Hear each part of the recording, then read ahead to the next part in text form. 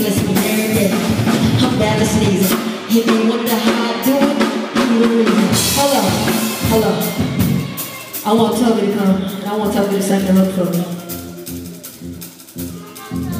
I want you to sing the hook for me. You already know the song. So instead of saying, look at me now, I want you to sing it. Hello. Y'all on his count now. The whole thing over one more time so we can get a minute.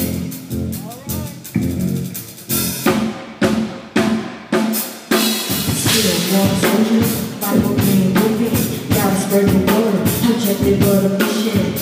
I, I, I give him all praise to Christ, I'm living for eternal life, plus 10 days. Jesus tells me, you never, never change. When you praise to the highest, you will feel the same. He bless me every day. I'm bad as sneezing.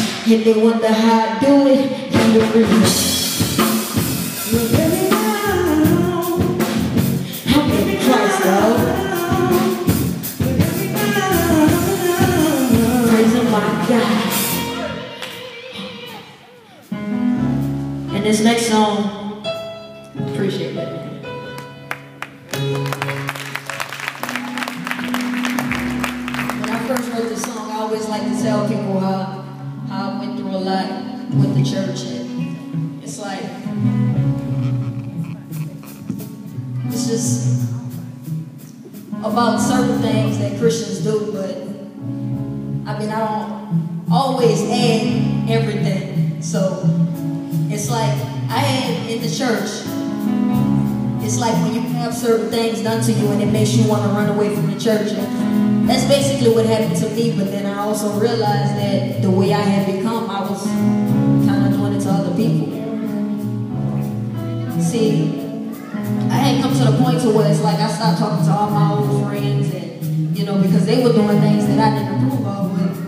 I mean, really, who was I to say that what they were doing was so wrong? Because I mean, at the time, I'm gonna listen to Tasha Cobbs when you're with me, but um, when you get out, I'm listening to No Hands by Waka Flocka. So I had a long talk with God one night, and it was when I really, I mean, I guess I really, really gave my life to Christ. Because I mean, I gave my life to Christ in church, but I was still doing my own thing. And when I had that talk, I guess that's what I come up with. This one's for the Christians who be sipping Moscato, doing it with no hands, with it out with their pop pop bottles, all about the mission, but their work ethic is.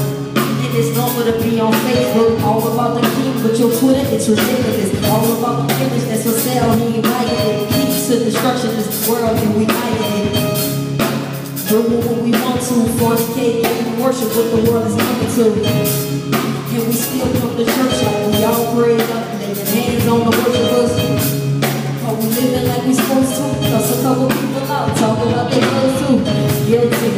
The leaders be the worst though. Practice what you preach, ain't that how the whole go? And so, when I first done this song in church, it was like, it was like basically telling a testimony of, of the things that I had went through. But I originally named the song Real Talk, but when everybody heard the song, they like, you should call that the testimony. So, always, whenever I do this song, it's like, it's iffy because I want to do it because I want to hear people to hear it, but every time I hear it, it's like it cut me too. So it's like every time I hear it, it's like I'm talking to myself just as well as I'm talking to other people. Because every day when I wake up, it's like I try to be the best person that I can, but it's like I can only do so much because because because of the flesh. So I try to I just I try. So it's like when you come to this point, you feel like you feel like you're trying so hard, you become like like you putting a mask on. And when you put this mask on, You become dressed up, but you become dressed up for the for the wrong reasons because you feel like you're trying to prove to people that you're a better Christian than what you are. You become messed up. Messed up as a person, messed up as an individual. And then added to the talk that I had with God is like, when I made it to the second verse, it's like he gave me everything to say. One, like it's not like he gave me everything to say.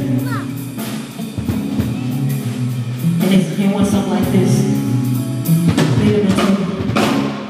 We dressed up and messed up. Bought the car last week, now we think we swagged up. All the chicories that I love Christ, but I passed up my neighbor didn't offer him a ride. My interior so nice, he can't even get inside.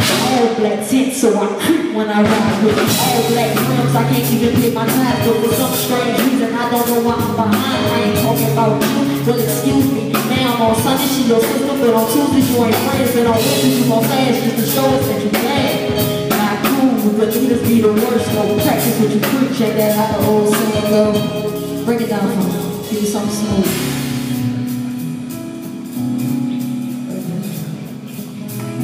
And so, um, when I first was supposed to do this, so I would not do it. And I caught myself, I guess, performing at church, thinking I'm gonna do what I wanted to do, right? This one was at our old building. So they get ready to call me up. That's how I knew I'm just doing everything I'm not supposed to be doing. As soon as I stand up, my pants split straight down the middle. So I went up there anyway. But that was the worst week ever. And I learned from that point on, when God tell you to do something, you do it. Because at the end of the day, it's not about pleasing nobody, it's about pleasing God. Thank you.